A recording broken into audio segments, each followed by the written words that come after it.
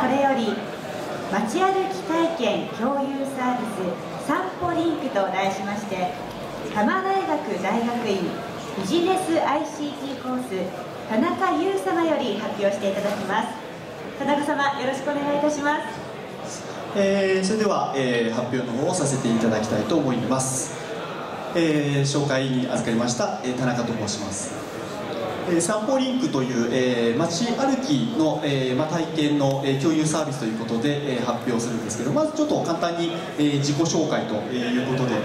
えー、今まで何をやってたのかと,、えーと、とりあえず僕はあのゲームのもともとは開発をやってた人間でして、えーま、高校出てそんなことをやっておりましたと。で、えーと、それから大学の方に行きまして、えー、バーチャルリアリティのコンテスト、えー、ここの会場でも、えー何回かちょっと開催されたと思うんですけれども、えーと、そういったものを、えー、大学時代は活動してまして、えー、その後は、えーと、コンシューマーの、えー、ゲームの開発なんかを、しておりました。で現在は、えーと、そういったものを使って、えー、コンピューターの関連の講師をしたり、えー、で、えー、と今大学院の方ですね、えー、行きましてで、えー、と今発表しているこういったものの開発をしております。あとは個人的に最近は、えー、鳥を見たりですね、えー、タウンウォッチングをしたりしております、えー、そういったところから、えーと、発送された、えーと、サービスになります。で、えーと、今回、えー、発表する、えー、散歩リンクというのはですね、えー、特徴としてはみんなの記録を、えー、GPS ログの、えー、時間と紐付けてですねですぐに、えー、オンライン地図上に配置してえー、経過時間に沿って次々に、えー、表示していくと、えー、そういった、えー、オープンなあのウェブサービスを目指して、えー、開発しております。それではですねもう早速ちょっとあの動く画面がありますので、えーと、ご覧いただきたいと思います。それでは、えっと、こちらの方に、えー、表示していますのがこれが、えっと、今開発中の、えー、サービスなんですけれども、えー、ブラウザ上で動いてまして、えっと、オープンレイヤーズの方を利用してで、えーまあ、地図の描画をしてで、えっと、地図のデータ自体はオープンストリートマップというこれも、えー、フリーの、えー、ものを使っております。で今ちょっと見づらいかあ見えますかね、えーと、ピンク色の、えーと、と線がですねあの線がありましてえー、これはあの今年の4月にあの開催されました東京テクテクという街歩きのイベントがあるんですけれども、えー、そちらの方で多摩動物公園でアオサギを見に行こうという会がありまして、えー、その時の模様を、えー、提示してあるものです。で、えー、ここの赤いのがあの歩いた、えー、場所でしてであの丸いのがですね、えー、これが写真が撮られた場所を表してます。で、えっと、丸が大きかったり小さかったりするんですけれどもこれはあの撮影のされた、えっと、ものが多いところほど、えー、丸が大きくなります。ですのでこうやってパッと見ただけで、えー、どこで盛り上がってるかなというのがあの一目で分かるようになっております。で、えーと、これだけだとですねなんとなくあの既存のサービスでもできるかと、えー、思うんですが、えー、ここから先に、えーと、このサービスにですね特徴がありまして、えー、この下にあの再生ボタンがありまして、えこちらの方を押すとですねえー、こうやって自動的にあの汽船あの上をですね、えー、歩いたところをあのこうやって再現していきまして、えー、今これモノレールに乗って、えー、動物公園に向かっているところなんですけれどもこれでまああの下に経過時間、えー、今あの1秒で2分進めるような設定にしてるんですけれどもこれで再生していきます。で、えー、その写真のところにですね、えー、たどり着きますとこのようにして自動的に写真を次々に、え、表示、え、してくれるようになっております。で写真のところには名前がついてましてここが、えー、と第2のポイントになりますがたくさんのですねこの参加した方々、え、全員の写真をあの一つのシステム、えー、一つの地図上に載せる、え、ことができます。これによって、えーと、誰がどういったあのものをえー、撮影していたかというのが、まあ、一目瞭然で分かるということになっています。でこうやって見てるとですね、えー、結構いろいろと面白い、えー、ところがありまして、まあ、やっぱあの皆さん見てるところが違うんだなっていうのがまた見えてきたりとかします。ではここがあの本場の、え丸が一番多いんですけれども、まあ、アオサギが、え実際にいた場所でして、え写真が、え出てくるんですけれども。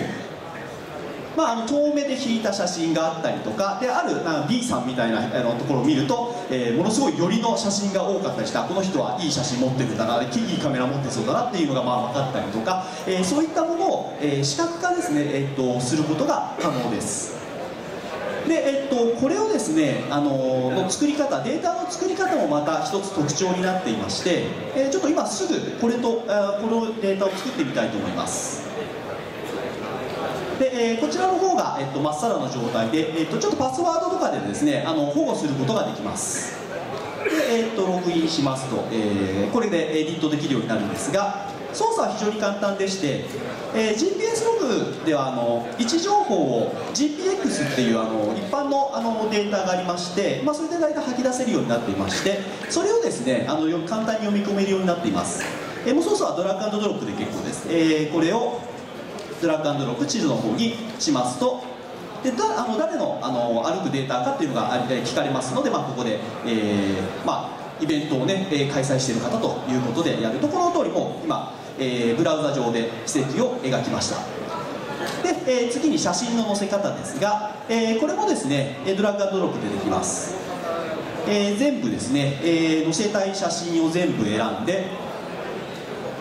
でこれもドラッグアンドドロップします。ともう複数の今73枚の写真をちょっと、え登録してみます。でこれも、えーと、名前が付けられます。でユーザー追加っていうのをやるとですね、えーと自分でこうその場で名前を付けることができまして、えー、誰の写真かというのが、まあ、分かりますよ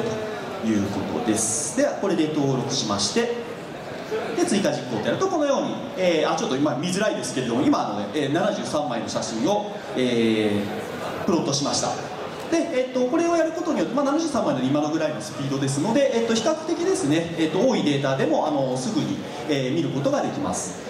で、えっと、今のあの参加人数の方分繰り返していただければもうその場で、えデータが出来上がると、えいうことになります。でこれは、えもうすぐに再生できまして、えこれで再生していただくと先ほどと同じような、え形で、え再生が行われると、えいうことになります。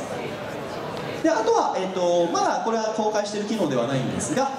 今作ったこのデータを、えメニューの方からえアップロードすることができましてあのこちらの方でサーバーを用意してありまして、えそこにアップロードしていただくと、えそのデータをですねあのインターネット、え URL がイベントごとに付加されます。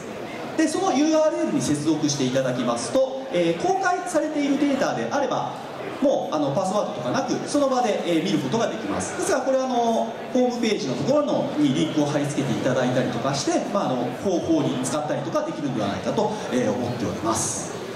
えー、それではちょっとまあ発表の方の、えー、プレゼあのパワーポイントに戻りましてで、まあ、今ので大体運営の流れというか、えー、というのはありましてまずあのやるとやることとしては、えー、イベント運営する方がですね、えー、スマートフォンでもいいです、え GPS ロガーあったら、まあ、GPS ロガーでまず GPS のログを取ってください。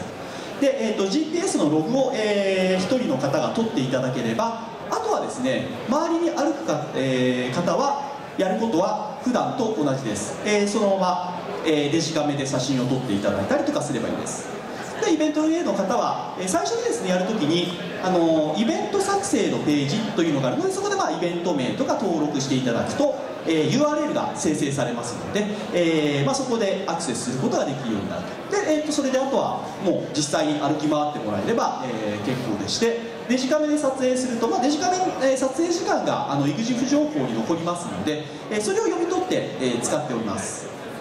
あとメモ、えー、するときにはですね、えー、そのメモの時間をちょっとあの残しておいてくださいというふうにしておいていただいて、えー、これを後で入力できるように、えー、しようと思っております。時間が分かればあの地図上の、え場所にですね、えー、1プロットできますので写真と一緒にコメントも、えー、後から見ることができる、えー、ということになります。あとはまた対応として、えー、ツイッターにもあの対応させたいなと思っておりまして、えー、ツイートも情報もあの時間がありますので、えー、そういったものも、えー、あ先ほどの地図上に載せられたらなと、えー、考えております。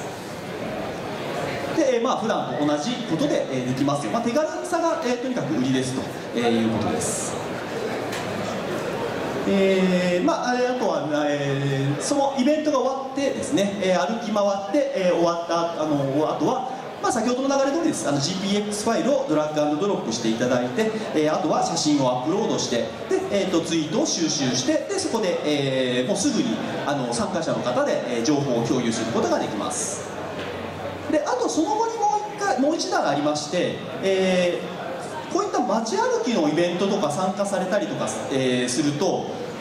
出てくるのがその写真が全部公開できないんですね、えー、結構失敗写真があったりとかあの顔出し NG な方がいらっしゃったりとか、えー、まあ、写っちゃいけないものが写ってしまってたりとかあのしますので、えー、すぐに公開されると困ると、えなのでなんか手軽さがないんですけれども、えっと、この散歩リンクであのパスワードを、えですね、設定できるようになっていまして最初はあの参加メンバーだけでしかあの情報共有、えされません。ですのでもう最初にもうバッとこう、えー、全部まず写真アップして後でいらないものを修正したり削除したり、えー、していただくと。でそのタイミングであの書いてあった手書きのメモなんかも、えー、時間と一緒に入力して、えー、あるいは写真のあ差し替えなんかもしてで公開できる状態になったら公開設定をイベントの運営者さんがすると、えー、そうすると安全にですね、えー、気軽に安全に、えー、イベント情報を公開できるだろうと、え考えております、えっと、そうするともうそこから先は URL を、えー、呼び出していただければどなたでも、えー、参照できるという状態になります、えー、もちろんあの HTML5 で作ってますのでスマートフォンなどからも、えー、参照が可能ですしデータ作ることも可能です。でまあこのワンクッションが、まあ、ここでの、えー、もうミソの一つと、えー、いうことになっております。であとはですね、えーまあ、ポイントまとめますと、えーまあ、すぐにあとは自動的にあとはイベントごとにえー、あとは全員者参加者全員の方の、えー、で閲覧制限付きでであとはスマートフォンでも見れます、えーまあ、これだけのものが、まあ、あのワンペワンパッケージになって、えー、散歩リンクというサービスとして今あの完成を目指して、えー、開発しております。で利用場面としてはまあいろいろと、えー、考えられると思うんですけれども、まあ、地域資源、えー、調査ですね。あのその土地の見どころなんかを集めたりとかあるいはそれを集めたものを発表ホームページとかで、あの自治体の、えー、ホームページで、えー、発表することもできると思いますしあるいは、まあ、私があのメインでやってるこの散歩イベントですね、えー、の方での活用はもちろん。あと学校の、えー、遠足とか修学旅行なんかでも、えー、活用できるのではないかなと、えー、授業なんかでも、えー、気軽に使っていただけるのではないかと思います。あるいは、え自然の、え調査とか、え街フィールドワーク類であのプロットしていくのが面倒くさいというのも、え写真さえ残しておけば位置とえ写真それからメモも残せますので、えそういったものとしても非常に便利に使えるのではないかと思います。他にもマーケティングツールであるだとか、えこれまで蓄積したデータを活用するのにも使えるのではないかと思っています。えー、GPS データあのカシミール 3D さんとか使うと,、えーと、自作できますので、まあ、それでプロット作って写真を載せると,、えーと、今までのデータなんかを見ることもできるだろうと思っております。で、まあ、費用の方なんですけどこのシステムの利用料自体はもう無料でやろうと思っております。で、えー、っとあとはあのただ写真がですね結構大きくなってしまうのが分かってまして先日やったあの散歩イベントの方だと、えー、1600枚ぐらいの枚数で、えー、圧縮してもなんか400メガバイトぐらいいってしまったので、え、結構な容量になりますのでサーバーは、えっと、オリジナルで立てていただくとかそういったことを検討しております。でどのぐらいいうと私が今、えー、利用しているものはあの、大体年間7000円ぐらいでできています。あとセキュリティとか多少、えー、グレードアップして大体年に5万円ぐらいで維持できるんではないかと思います。でシステムは、えーまあ、オープンソースで、えー、基本作られて、えー、おりまして、えー、HTML5 で作っておりますのでとにかく、えー、スマートフォンとかでも動きますということです。で、まあ、今後の予定はいろいろとやって、まあ、とりあえず3月下旬にですね、えー、公開を目指して完成を目指して今、えー、頑張っているところです。で、えー、参考にさせていただいたサービスとして、えー、もちろん Google Earth さん、えー、マイプレイス、えー、それからカシミル 3D、えー、地図ロイド、えー、あとはトゥゲッターとかこの辺りも、えー、参考にさせていただいて、まあ、そういったものと、えー、まあ、先に進めると、えー、やれるといいなと思ってやっております。あといろいろとあの今までの取材とかで、えー、ご協力いただきましたということで、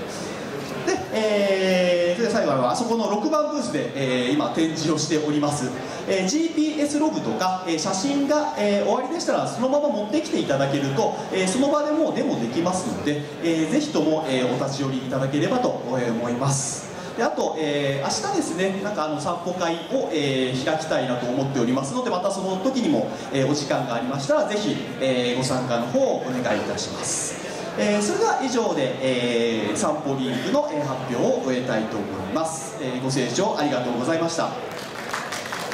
田中様ありがとうございました。それではこれより次回のプレゼンの準備をさせていただきます。少々お待ちくださいませ。